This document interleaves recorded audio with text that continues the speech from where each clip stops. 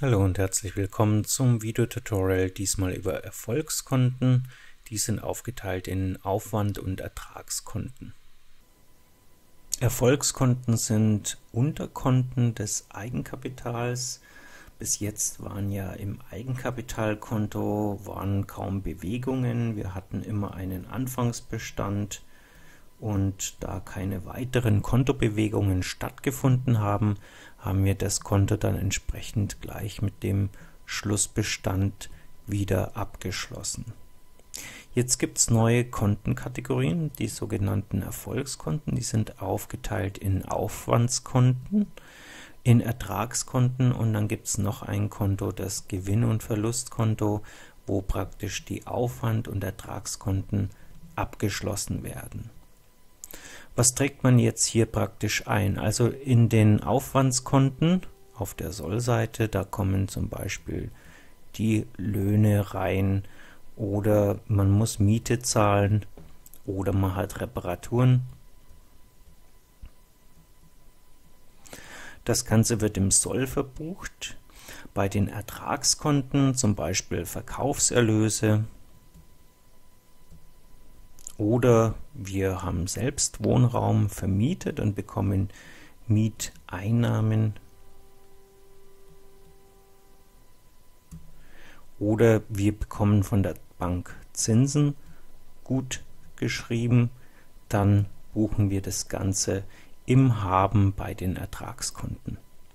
Auf der gegenüberliegenden Seite ergibt sich dann nur ein Saldo,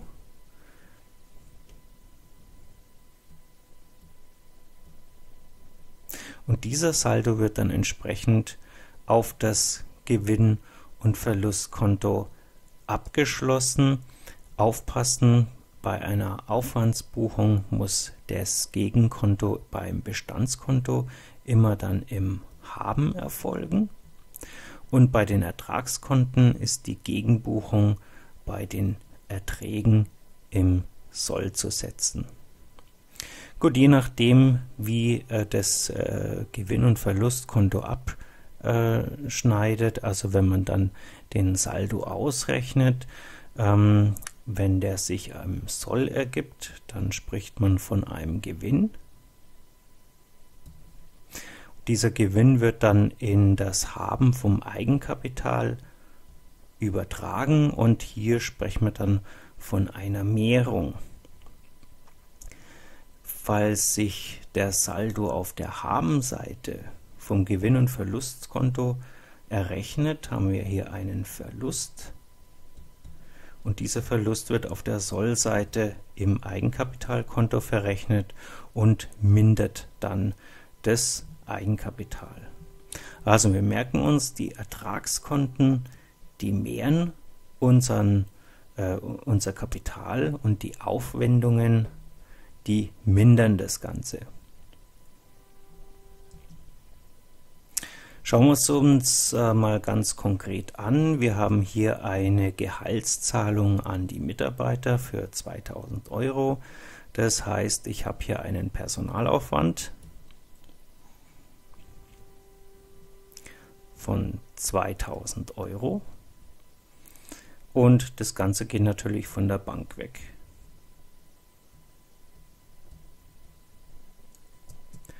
Beim nächsten Fall haben wir hier einen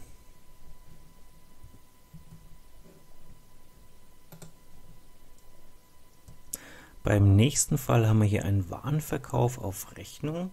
Das bedeutet, die Verkaufserlöse, die mehren sich um diese 3000 Euro.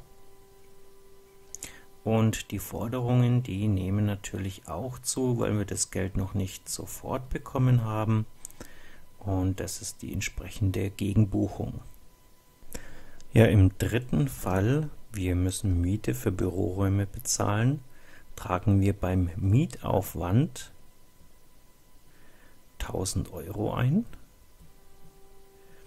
und die Gegenbuchung erfolgt im Bestandskonto bei der Bank, weil das Geld ja praktisch hier vom Bank. Hier beim letzten Fall hier bekommen wir Zinsen von der Bank gut geschrieben. Das bedeutet, wir haben hier einen Zinsertrag, wir buchen in Haben Also viertens 500 Euro werden uns gut geschrieben und wir bekommen dieses Geld ins Soll auf die Bank.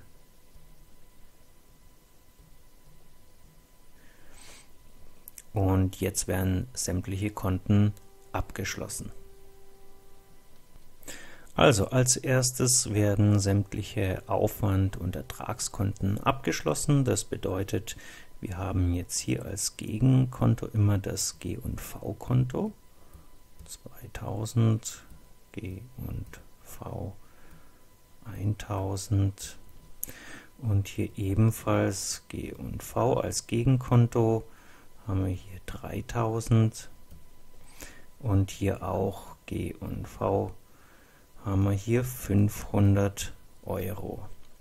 Gut, dieser Saldo liegt hier im Haben und wenn er übertragen werden muss, dann wird es praktisch in Soll übertragen. Das bedeutet, wir haben hier den Personalaufwand mit 2000 Euro, dann Miete haben wir hier 1000 Euro und hier ebenfalls von Soll nach Haben übertragen haben wir hier die Verkaufserlöse mit 3000 Euro und die Zinsen mit 500 Euro.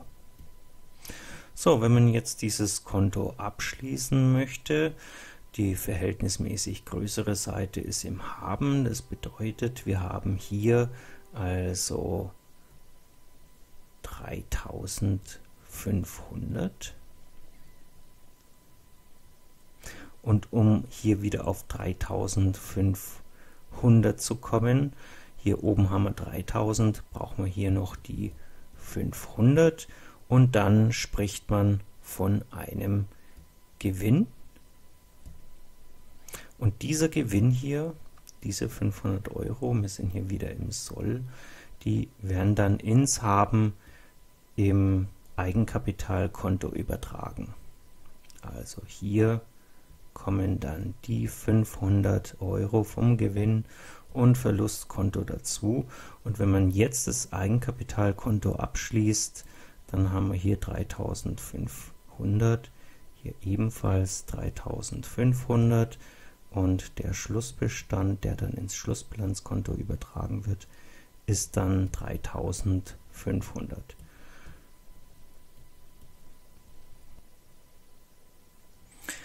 Ja, nehmen wir mal an, wir hätten jetzt nicht 3000 Euro an Verkäufen gehabt, sondern nur 1000 Euro. Damit ergibt sich auf der Habenseite ein Betrag von 1500 Euro. Der ist verhältnismäßig kleiner als auf der Sollseite. Da haben wir 3000 Euro.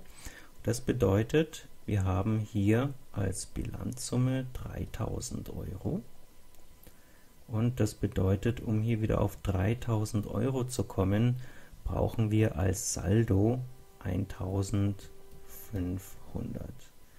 Und dieser Betrag wird dann im Eigenkapital in die Sollseite gebucht. Das heißt, wir haben hier das Gegenkonto G&V 1500 Euro und dieser Verlust schmälert natürlich das Eigenkapital, sodass wir einen Schlussbestand von 1500 Euro haben.